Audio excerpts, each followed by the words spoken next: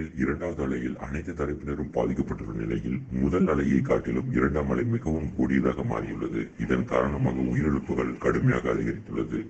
குறிப்பாக திரைத்துறையினர் பலர் கொரோனாவால் பாதிக்கப்பட்டு உயிரிழப்பை சந்தித்து வருவது திரைத்துறையினரையும் ரசிகர்களையும் அதிர்ச்சியில் ஆழ்த்தியுள்ளது.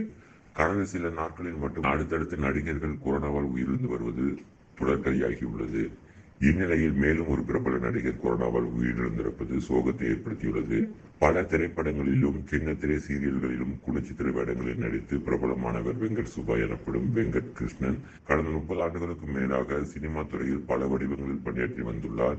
யூடியூப்பில் திரைப்படங்கள் குறித்து விமர்சனங்களையும் செய்து வந்தார். கடந்த மாதம் வெங்கட் சுபாவிற்கு கொரோனா தொற்று உறுதியானது. இதனை அடுத்து கடந்த இருபத்தி ஐந்து நாட்களாக அப்போலோ மருத்துவமனையில் சிகிச்சை பெற்று வந்தார். இந்நிலையில் சிகிச்சை பலனின்றி நள்ளிரவு பன்னிரண்டு நாற்பத்தி எட்டு மணி அளவில் அவரது உயிர் பிரிந்தது. பிரபல தயாரிப்பாளரும் நடிகர் வெங்கட் சுபாவின் நெருங்கிய நண்பருமான டி. சிவா நடிகர் சுபா வெங்கட்டின் மறைவுக்கு இரங்கல் தெரிவித்துள்ளார். மேலும் திரைத்துறையை சேர்ந்த பலரும் இரங்கலை தெரிவித்து வருகின்றனர். தமிழ் பட உலகில் மிக பிரம்மாண்ட இயக்குனர் அப்படின்னு சங்கர் அழைக்கப்பட்டாலும் தெலுங்கு பட உலகில் மிக பிரம்மாண்ட இயக்குனர் அப்படின்னா ராஜமௌலி இருக்கிறார். அவர் இயக்கத்தில் உருவான பாகுபலி பாகுபலி இரண்டு அந்த இரண்டு படங்களுமே அதை நிரூபித்தன. இருநூத்தி ஒன்பது கோடி செலவுல உருவான அந்த படங்கள் ஆயிரத்தி அறுநூறு கோடிக்கு மேல் வசூல் செய்தன. இதை அடுத்து ராஜமௌலி ட்ரிபுலர் அப்படிங்கிற படத்தை இயக்கியிருக்கிறார். இதில் ராம் சரண் ஜூனியர் என்டிஆர் அஜய் தேவ்கன் ஆகிய மூன்று பேரும் இருந்து நடிச்சிருக்காங்க. இதுல கதாநாயகியாக ஆலியா பட் நடிச்சிருக்காங்க. இந்த படம் 350 கோடி செலவுல தயாராகி இருக்கிறது. தமிழ் மலையாளம் கன்னடம் இந்தி ஆகிய நான்கு மொழியில டப் செய்யப்படுகிறது. படத்துக்கு ரத்தம் ரணம் ரவுத்திரம் என்று பெயர் சூட்டப்பட்டிருக்கிறது. நடிகர் திலகம் சிவாஜி கணேசன் பற்றி அவருடைய மகன் பிரபு சொன்ன சுவாரஸ்யமான தகவல் இதோ. திருவர செல்வர் படத்தில் அப்பா சிவாஜிக்கு மிக வயதான முதியவர் தோற்றம் படப்பிடிப்பு முடிந்தது. ஆனால் அப்பா மேக்கப் கலைக்காம அப்படியே வீட்டுக்கு புறப்பட்டார். வீட்டை அடைந்ததுமே வாசலில் நின்றபடி குரலை மாற்றி அம்மா தாயே என்று குரல் கொடுத்திருக்கிறார். வெளியே வந்த பாட்டி ராஜமணி அம்மாள் நான் ஒரு சிவபக்தன். கைலாய மலைக்கு போய் கொண்டிருக்கிறேன்.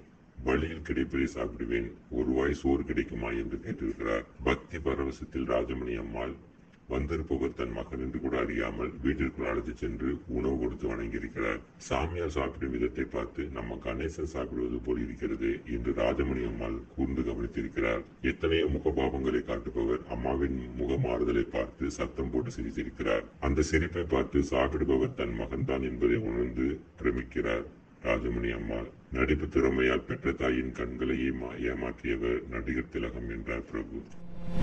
தமிழில் தாம் தூம் படத்தில் கதாநாயகி வந்து கங்கனா ரணாவத் மறைந்த முதலமைச்சர் ஜெயலலிதா வேடத்தில் நடித்துள்ள தலைவி படத்துக்கு பெரிய அளவு எதிர்பார்ப்பு உள்ளது இந்தி திரையுலகில் முன்னணி கதாநாயகியாக இருக்கும் அவர் சமூக வலைதளங்களில் அடிக்கடி சர்ச்சை கருத்துக்களை பதிவிட்டு பரபரப்பு ஏற்படுத்தி வருகிறார். இதனால் அவர் ட்விட்டர் கணக்கு முடக்கப்பட்டது. சமீபத்தில் கொரோனா தொற்றில் சிக்கி சிகிச்சைக்கு பின் குணமடைந்தார். சில தினங்களுக்கு முன்பு மும்பையை தாக்கிய டவ்தே புயலால் ஏராளமான மரங்கள் அழிந்தன. இதையடுத்து கங்கனா ரணாவத் புதிதாக இருபது மரக்கன்றுகள் நட்டு விழிப்புணர்வை ஏற்படுத்தியுள்ளார். அந்த புகைப்படங்களை இன்ஸ்டாகிராமின் பக்கத்தில் பகிர்ந்து அவர் வெளியிட்டுள்ள பதிவில் மும்பையை தாக்கிய டவ்தே புயலால் எழுபது சதவீத மரங்கள் சேதமடைந்துள்ளன.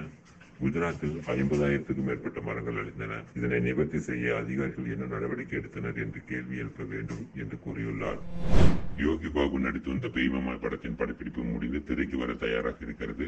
இது ஒரு நகைச்சுவை படம். சக்தி சிதம்பரம் டைரக்ட் செய்திருக்கிறார். இந்த படத்தை பற்றி அந்த இயக்குனர் கூறும் பொழுது கதைப்படி யோகி பாபு மந்திரவாதி பேய்களை மிரட்டுவதில் கெட்டிக்காரர். இவர் பேயை வெட்டுவதற்காக ஒரு வீட்டுக்கு போகிறார். அங்கே பேய் யோகி பாபு மீது ஏறுகிறது. ஒரு மார்வாடி வீட்டில் நகைகளை கொள்ளையடிக்க அவர் பெண்வெடுத்து செல்கிறார். அவர் திட்டமிட்டபடி கொள்ளையடித்தாரா அல்லது மாட்டிக்கொண்டாரா என்பதுதான் படத்தினுடைய மீதி கதை. இந்த நிலையில் விசக்கிருமிகளை உருவாக்கி உயிர்களை பறிக்க ஒரு கும்பல் திட்டமிடுகிறது.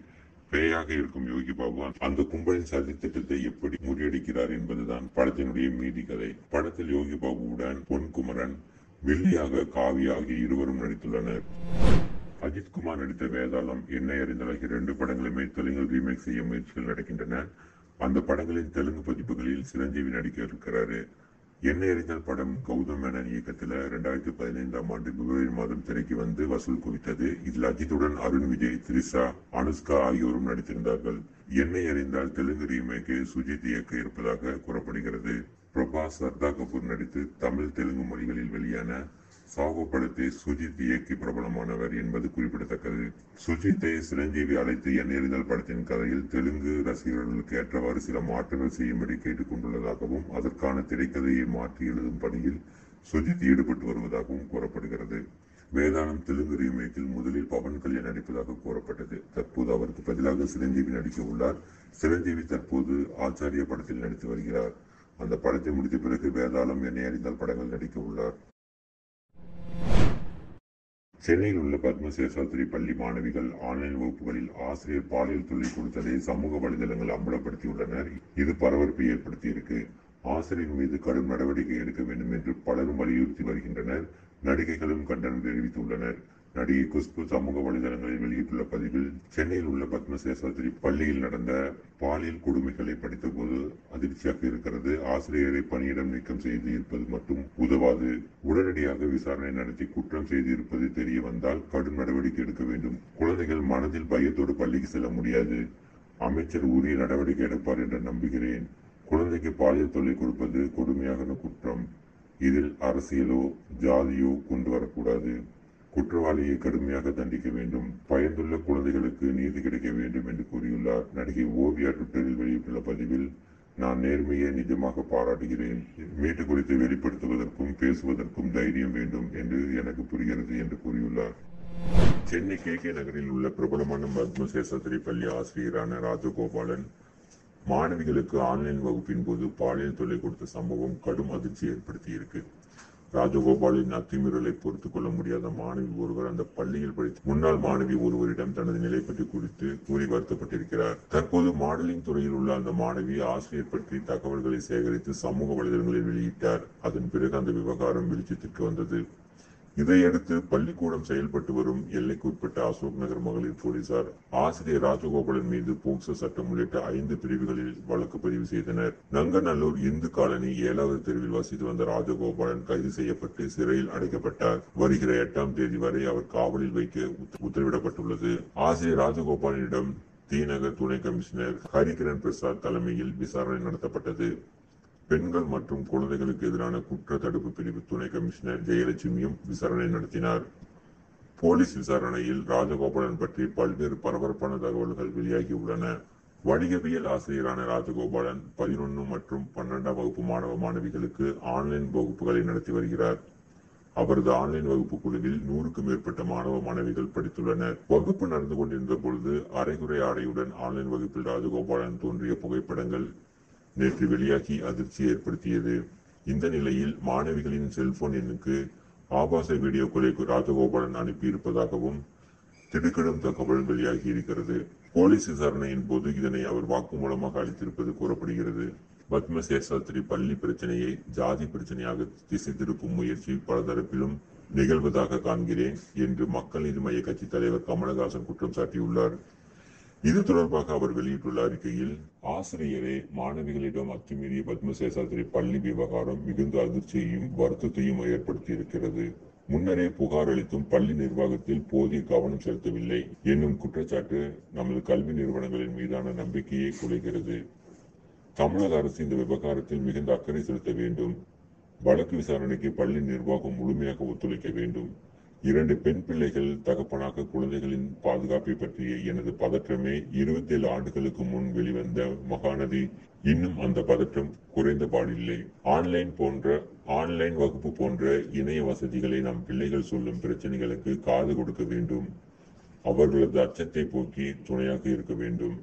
இந்த பிரச்சனையை ஜாதி பிரச்சனையாக திசை திருப்பும் முயற்சி பலதரப்பிலும் நிகழ்வதை காண்கிறேன். குற்றத்தை பேசாமல் குற்றத்தின் தீவிரத்தை பேசாமல் பிரச்சனையை மடைமாட்டினால் அது பெரும்பாலும் குற்றவாளிகளுக்கே சாதகமாக அமைந்துவிடும் என்று கூறியிருக்கிறார். இந்த விவகாரம் குறித்து இயக்குனர் பேரரசு வெளியிட்டுள்ள அறிக்கையில் ஆசிரியர் ராஜகோபாலன் மாணவிகளுக்கு பாலியல் தொல்லை கொடுத்திருக்கிறார். அவரும் ஒத்துக்கொண்டு அவரும் ஒத்துக்கொண்டுள்ளார். அவரும் ஒத்துக்கொண்டுள்ளார். அவருக்கு நி- பள்ளி நிர்வாகம் கொடுக்கும் இடைப்பணி நீக்கம் பணி நீக்கம் போன்ற தண்டனை எல்லாம் சட்டப்படி கடும் தண்டனை சட்டப்படி கடும் தண்டனை வேண்டும். அவர் இனி எங்கும் ஆசிரியராக பணி தொடரக்கூடாது. இது சம்பந்தமாக நிறைய பேர் குரல் கொடுத்திருக்கிறார்கள். அதில் பாதிக்கப்பட்ட மாணவிக்கு கொடுக்கும் குரலை விட பழி வாங்கும் குரல்கள் தான் அதிகமாக கேட்கிறது. பலரின் எழுத்து பதிவுகள் வீடியோ பதிவுகள் குவிகின்றன. வரவேற்க வேண்டிய விஷயம்தான். ஆனால் அதில் பல பேர் குற்றவாளி ராஜகோபாலனை விட்டுவிட்டனர். சிலரை அசிங்கப்படுத்துவதே நோக்கமாக இருக்கிறது. மாணவிக்காக கொடுக்கும் குரலில் தாயின் குரல் தந்தையின் குரல் அண்ணனின் குரல் இப்- இப்படி அக்கறையோட சமூக அக்கறையோட குரல் இருக்க வேண்டும். இப்படி அரசியல் குரலாகவும் ஜாதி குரலாகவும் மத குரலாகவும் இருப்பது அவலம். உங்களில் அரசியல் பழிவாங்குக்கு அரசியல் ரீதியாக வேறொரு சந்தர்ப்பத்தை ஏற்படுத்திக் கொள்ளுங்கள். இது மாணவிகளின் மான பிரச்சனை. இதில் குற்றவாளி தண்டிக்கப்பட வேண்டும் என்பதே நோக்கமாக இருக்க வேண்டும். நிர்வாகத்தின் மீது தவறு இருந்தால் சட்டப்படி தண்டிக்கட்டும் இது மட்டுமல்ல மீண்டும் பொள்ளாச்சி வழக்கை அரசு கையில் எடுத்து உண்மை குற்றவாளிகளை சிறையில் அடைக்க வேண்டும். பாலியல் குற்றங்களுக்கு மட்டும் தயவு தாட்சணியம் பார்க்காதீர்கள். அரசியல் மதம் ஜாதி இதற்கெல்லாம் அப்பாற்பட்டதுதான் பெண்ணின் மானம்.